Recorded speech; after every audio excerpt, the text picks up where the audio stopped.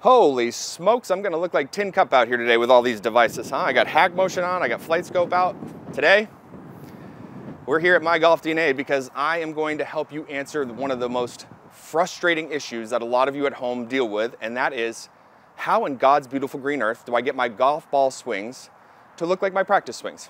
I sit out there and I grind and grind and grind. My practice swings are exactly the way that I want them to look. And when I put a golf ball in front of it, it changes very quickly.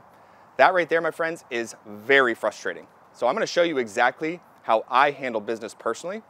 I'm gonna show you a process that I put my students through when they're starting to make a real change and starting to bring the golf ball back into the equation. And I hope that you can learn a whole lot from this because what you need in this process to make a real change is you need a whole lot of patience, you need a whole lot of perseverance, you need a good practice program, and you need to give yourself a little bit of grace because we're always chasing perfection in the golf swing. We always are. And perfection just doesn't exist. You want to continue to work on getting 1% better every time you go out and practice. You want to make your practice sessions meaningful. Stop getting in your own way. Stop thinking that this stuff is going to come easy. This stuff takes time. So what we're going to do first off in this process is I'm going to hit 10 golf balls in stock shot format. Today, I've chosen a six iron.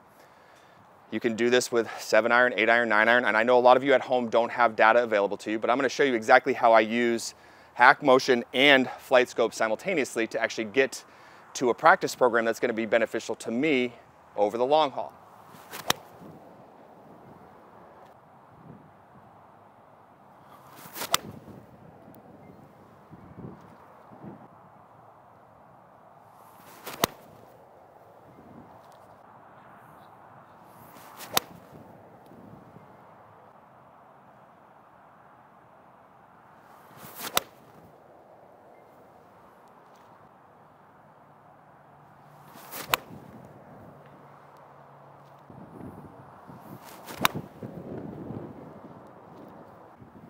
All right, two left on the home stretch.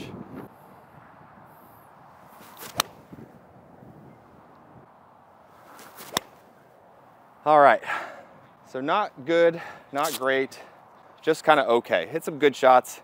Definitely have a lot of data to look at. So let's go look at that data now and look at some of the swings. Now, when I looked at the camera, and then I looked at the flight scope data, and then I looked at the hack motion data, we could see that when I was hitting the golf ball fairly well, and when I was mishitting it, from time to time, the club path got a little bit too far from in to out. And the reason why that actually happened in my swing shape is because of something that I was doing very early on in the swing. My wrist actually started out in a fair amount of extension based off of my grip. As I start the golf swing, as I start to shift and turn my body, my wrist moved quickly into flexion. And by the time I got up to the top of the swing, it was substantially into flexion. But what that did is it started to flatten the swing plane off very early. And that momentum and inertia got flatter, more in behind me. And that from there got the shaft plane a little bit flatter and the club face a little bit more closed. On the way down, as much as I tried to recover, my hands and my arms were coming a little bit too far into out. And I was trying to get things back out in front of me. And what that produced was a very high draw, a ball flight that I want to get away from. I want a mid-level trajectory ball flight that's got very little movement in it that I can actually work in both directions as I need to. So what I'm going to be ultimately trying to do here is get my path pretty close to the zero number and in order to do that, what I'm gonna be focusing in on is trying to get a little less movement towards flexion early on in the swing shape and get it a little bit more towards extension.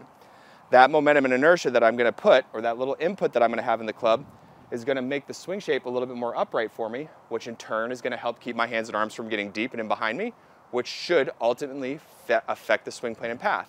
Now, I do have four do's and I do have four don'ts in this process. And as I start to go through it, and I start to practice it, you're gonna hear me repeat these things plenty of times over. I'm gonna talk about the four don'ts at first because these are extremely important for you to get into your brain right away.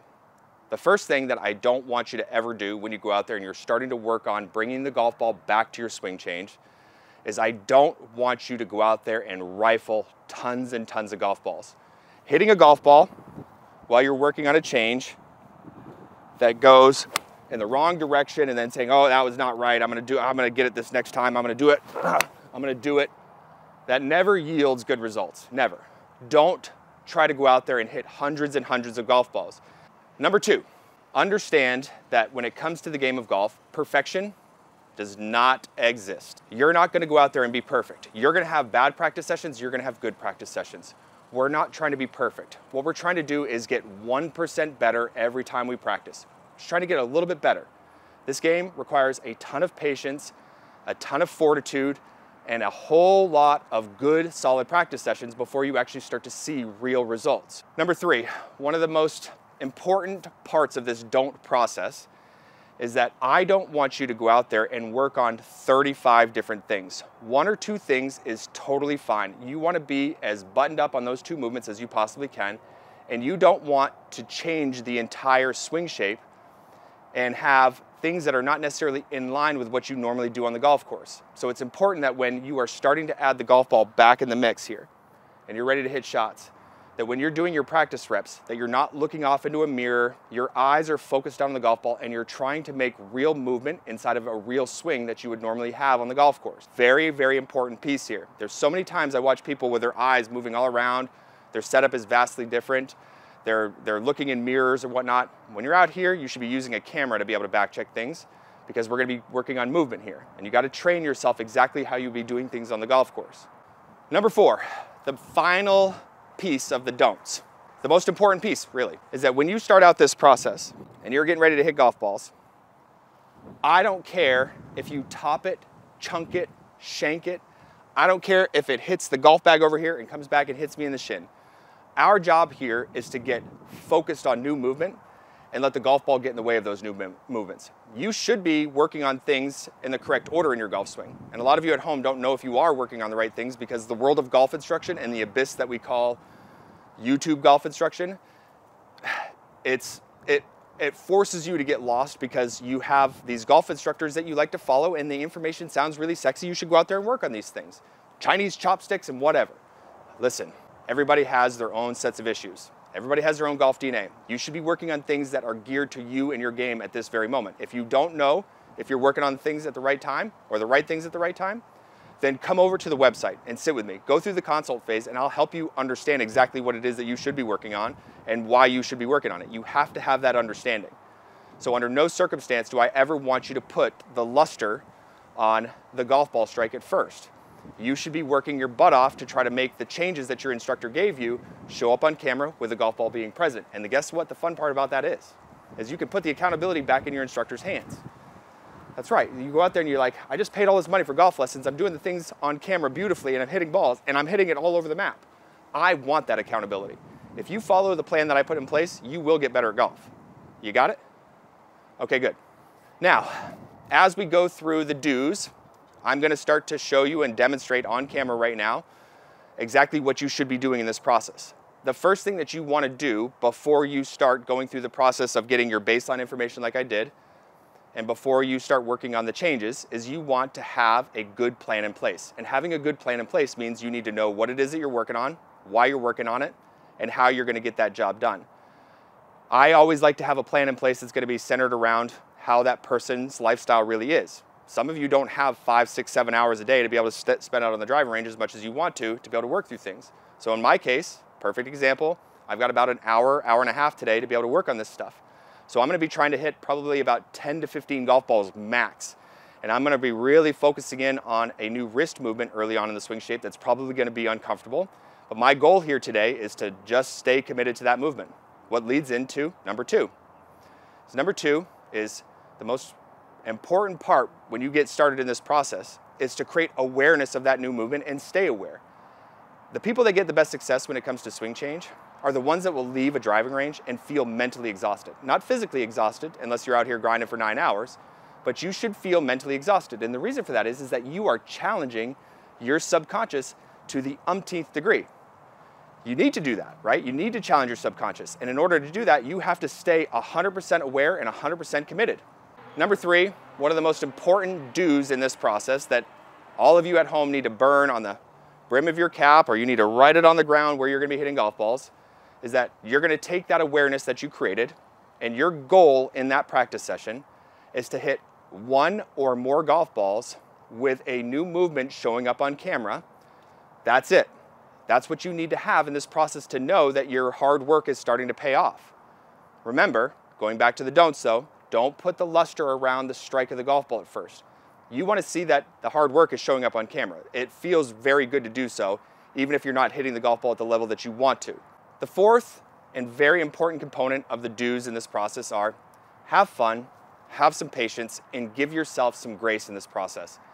It's not a world of perfection. Have fun, go out there and enjoy the time that you are when you're working on things. It makes the whole process a lot easier. When you go out there and things are going poorly, you need to be disciplined enough to be able to just walk away from the driving range and come back another day and go work on your short game. Don't sit out here and keep beating yourself up. You want to have fun in this process. If you're having fun, you get more into what we call a flow state, and it's much easier for you to be able to go through the processes of change because I'll tell you right now, nothing about swing change is glamorous. It sucks, it's hard work, and a lot of times it takes longer than a lot of you expect. I know, I get it. So as you begin to start to watch me practice now, I want you to pay very close attention on how I'm handling business. Now remember, my goal today is not to hit a ton of golf balls. In fact, with the time that I have available to me today, I've actually figured out that I'm gonna try to hit about 10 golf balls max. You're gonna see in my practice session that I'm starting out from a static address position. I'm rehearsing new movements very slowly. I'm making sure that I have connection to those movements and I'm gradually starting to pick up the pace as I get more and more comfortable with it. Now, when I get to a point where I'm getting ready to hit a golf shot, I like to give myself one good solid rep, somewhere between 70 and 80% speed. That's what I like to do. Now, I have some players that like to do it at 50% speed. I have some players that like to even do it at a snail's pace my, me personally, the way that I learn is I have to move in an athletic sort of way in order for it to feel like a real golf swing. So in that final rep, you'll see me do about an 80% speed swing, trying to get it perfectly right.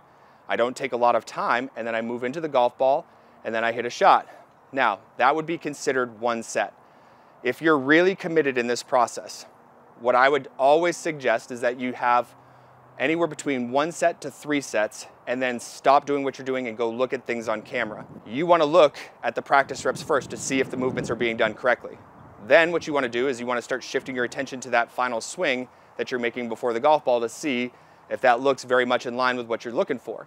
And then the final thing is, is that you wanna look at the golf ball swing to see how close that golf ball swing is to the practice swing. So what I can tell you right now is that this was a successful practice session for me.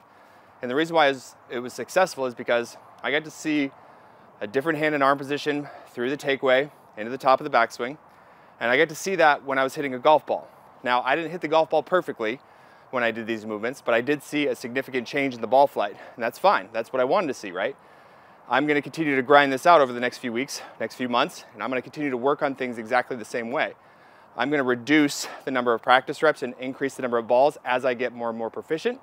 That's how you want to approach this entire situation. So many of you at home struggle in the game of golf because you don't know how to practice properly or you're working on the wrong things at the wrong time. And that's exactly what we help you do here at My Golf DNA is we help you take an entire look at the entire complexity of your golf game. We sit down with you, we help you understand exactly what it is that you should be working on, why you should be working on it, and how you're gonna get the job done. Because I know you want two things in this world.